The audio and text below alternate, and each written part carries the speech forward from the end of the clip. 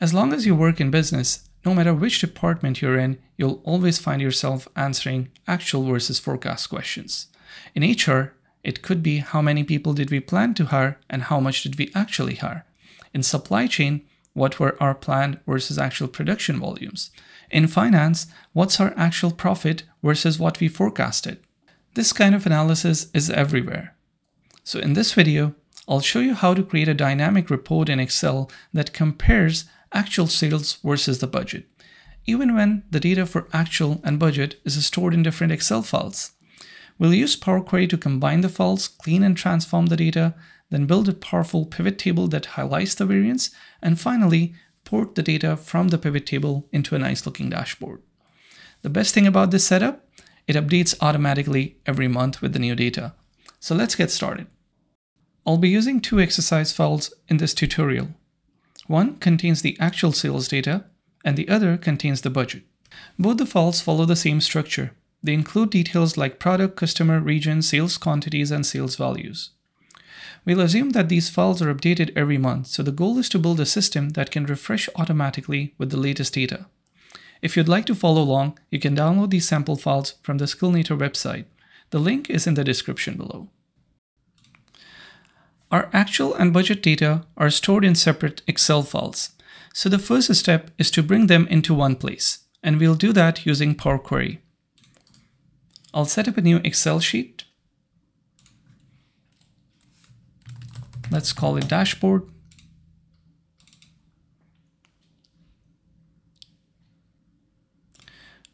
We'll go to the data tab, get data from file and from Excel workbook.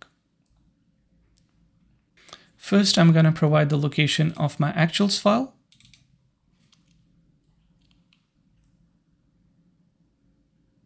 The data is on sheet one, so I'm going to select that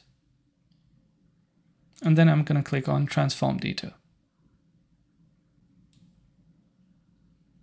So our actuals data set is now inside the Power Query. I will rename this query as actuals. Next, we need to bring in the budgets data set into the Power Query as well. To do that, I'll go to the new source, file, and then Excel workbook. And this time I'm going to select the budget file, import, and the other steps will be the same. So it's again the sheet one that we need to bring in. Click on OK. So we have the budget data set as well here. I'm going to rename it as budget. Both the files are now open inside the Power Query editor. Here we can do the cleaning and shaping of the data if needed. This dataset is quite simple, so we don't need to do a lot here. Perhaps I will just delete the row ID column by pressing the delete key and I guess we also don't need the order year. I'll do that for both the queries so that the data stays in the same structure. Now we have both the data sets in one place, but they are still in two different tables or two different queries. For effective analysis, we will need them combined into one query. And we can achieve that by appending the actuals query with the budget. But before we append, let's do an important step. That is to add a scenario column to each query. So I'll first go to the actuals, add a column, custom column. I'll call this column scenario. And for this one, I will give the value of actuals and I will give it the data type of text. Then I'll go to the budget query and do the same step, add a scenario column. For the value instead of actual, this time I'm going to put in budget also assign it the data type of text. This step is important because once we combine these two tables, the scenario column will help us identify which part of the data relates to actuals and which part is budget. So once we are done with these steps, in within any of the query, I'll go to the Home tab and then go to Append Queries and append queries as new because I want to create a new query that combines the results of actuals and the budget. So I want to combine the budget table with the actuals and click on OK. And it will create a new query for us, which combines the results of the two queries or adds them together. And as we can see in the scenario column, we will have an identifier actuals and the budget so we can easily slice and dice the data. I'll call this new query the console which indicates the consolidated query.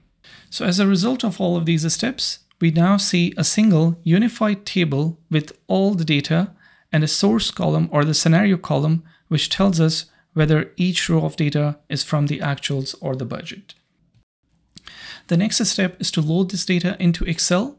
So I'm going to go to the close and load tab and I'll select close and load to. For now, we'll keep all the queries as connection only and click on OK. In the site pane on the right, we can see that all the queries have been loaded successfully. Next, we need to create a pivot table using the consolidated query. So I'm going to right click on console, load to, and select pivot table report. We can load it to the existing worksheet on cell B3. Also, make sure to load it to the data model because we'll be using Power Pivot to create DAX measures. Click on OK, and there we go. Once it's loaded, I'll start building some basic pivot table. I'll drag the I'll drag the state field into rows, scenario into columns, and the sales value into the value section. I think I can remove the grand total over here. Now this pivot table gives us nice information about actual and budget sales, but we are still missing the variance column or the difference between the two.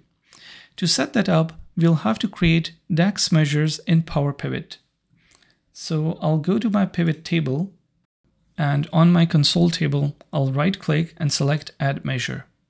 The first measure we will create will be for the actual sales. So I'll put actual sales. Description is optional, so we can leave that. We will use the calculate function. The calculate function has two criterias, the expression and the filter. So first of all, for the expression, I will say that I want to sum the sales column for the filter, I want to sum the sales column only for those rows where scenario is equal to actuals. So I'm going to put in scenario equal in quotation mark actuals. Now I can close it, check the DAX formula, there is no error, format it as number, and click on OK. Next, I'm going to add another measure, which will be for the budget sales, and it will follow more or less the same syntax. So sum of sales when scenario is equal to budget. Again, we check our formula, format it as a number, and OK. The third scenario, or the third measure that we need to add is the variance, which will basically be the difference of actual sales minus budget sales. Again, formatted as number, decimal number. Now you will see that in your console table, you will have these three measures, which we can put in. So I can remove the sum of sales that we had put in before. I can also remove the scenario. And instead, I'll put actual sales, budget sales, and the variance. Now that we have our pivot table ready, let's use it to build a simple dashboard. The goal of the dashboard is to show two key insights. The top 10 states with the most favorable variances the top 10 with the most unfavorable variances, and below that, a chart that compares actual versus budget sales by month. In this video, I won't go into the details of a step-by-step -step dashboard setup and formatting. If you want a detailed tutorial on building dashboards like this, I have a dedicated video. Feel free to check it out. The link is in the description. For now, I will import a pre-built wireframe of this dashboard into our pivot table file.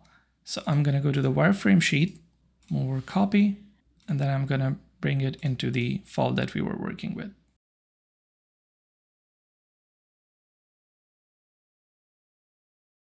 So here on this sheet, we have the wireframe of the dashboard, and this sheet is the one where we built our pivot table in the last section. To feed the data into our dashboard, we'll need to create a couple of copies of our pivot table and also tweak them slightly. First, in the dashboard, we need to get the list of top 10 favorable states. So for that, I'll sort this pivot table from largest to smallest. For the second section of our dashboard, we need the top 10 unfavorable states. So for that, I'm going to create a copy of this pivot table next to it. And in this one, I'm going to sort the variance column smallest to largest. Once this is done, we can link both of these pivot tables to the dashboard visuals. So let's go to our dashboard. In the first section, we need the top 10 performing states. The heading is wrong there, so I'll correct that. And in the second section, we need the bottom 10 performing states. So for the top 10, I'm going to link it to the first pivot table because that is sorted from highest variance to the lowest variance. It's in column B actually. And then actual budget and variance are in column C, D, and E. So to shorten this up, I'm just going to copy this formula, paste it here, and make the correct references.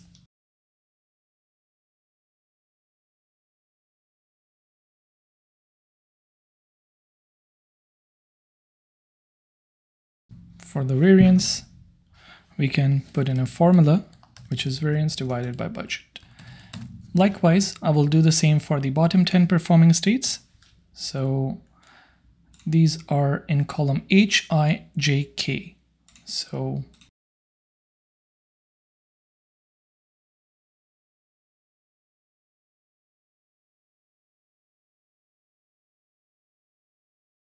Now I'm gonna copy and paste the formula for rest of the rows.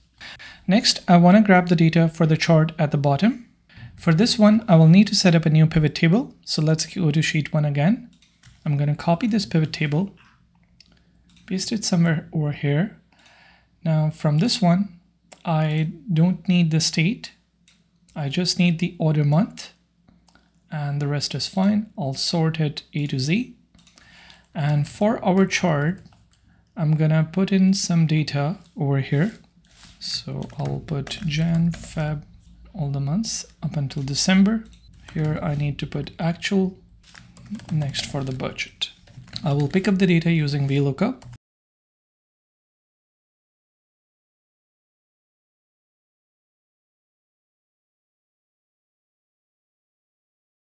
And same for the budget for budget, it will be column number three. So we have the data ready for it to go into the chart. However, we need to link the chart to the right data sets. I'm going to select data. Currently, the chart is referring to this range. We'll give it the correct range over here. Let's go back. And there we go. The chart has been updated as well. As I mentioned earlier, we now have an automated setup. This means that whenever new actual or budget data is available, the dashboard will update automatically without any manual adjustments. Let me show you how that works. First, I'll open the current actuals file.